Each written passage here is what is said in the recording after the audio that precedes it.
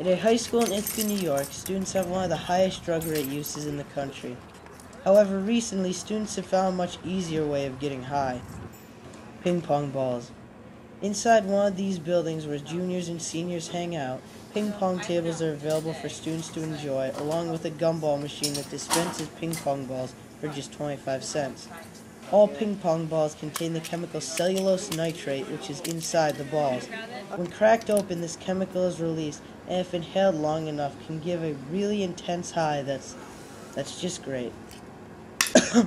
uh, the most common name for this is pong puffing, but some street names for this are balling and sniffing balls.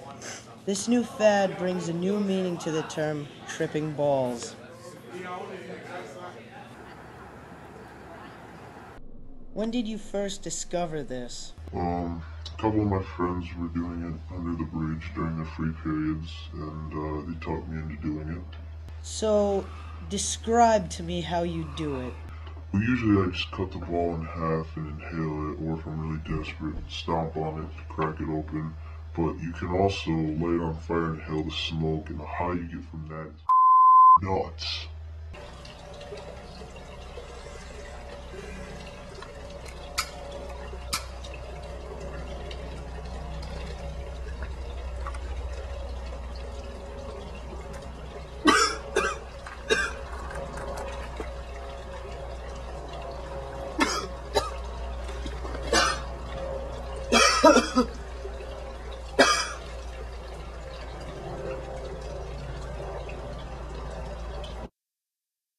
Do you feel that this is a I'm di- sorry, uh, I have to go.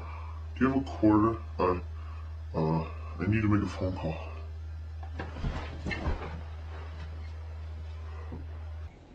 What do you think about students spending a lot of time in the activities room? I think it's great. You know, there's so much going on in the streets these days drugs, abuse, things like that. It's nice to see so many students having a good time playing a good old fashioned game of ping pong. So you don't think the students are doing something they're not supposed to, or there isn't anything fishy going on? Fishy here? No, there's nothing going on there. We have good kids here in the school. Good kids. Have you ever pong puffed before? Pong what? What? No. It just seems very odd to do. No. Ugh. No. I know those kids are doing something. Damn kids. There's this one day, this kid comes into class and he keeps asking me for a quarter. He's really bugging me, just grabbing at my clothes and everything. I had to use my taser to. I- He, I mean, he gave up and went on to another class. But this other time, this kid comes in he just looked weird. And he jumped up on a desk and he starts dancing, and then he jumps down and starts ripping off his clothes and. Ugh, ugh, damn kids.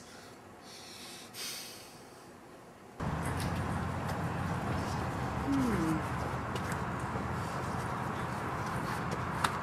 Oh my god. Ping pong balls. Ah.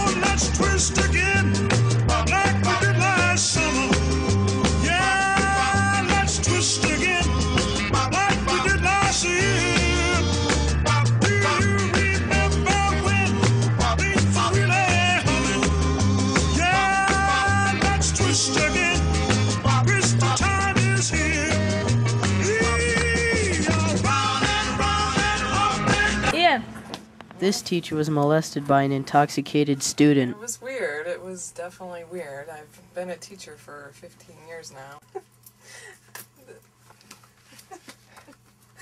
I had counseling and therapy and. Uh, I still go through therapy.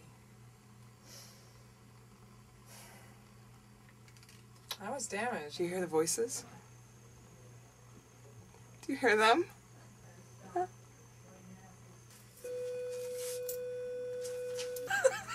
They're coming. it was very traumatic. And even today, I have a hard time dealing with the kids. Really. Oh, hi, kids. There's a there's a smash. Hi, hi there. Yeah. No, that's how. In the last few weeks, ping pong and the selling of ping pong balls have been taken out of the high school, and the balls banned from the school entirely. In fact, this whole situation has brought about Supreme Court cases as well as a chance for them being illegal nationwide. However, it has already been done in New York State and already is becoming the main target of gang violence and gang income. For all parents watching, be sure to look for these signs in your children that you saw in the show tonight. And as always, talk to your children. Good night. And cut! Good, everyone take five.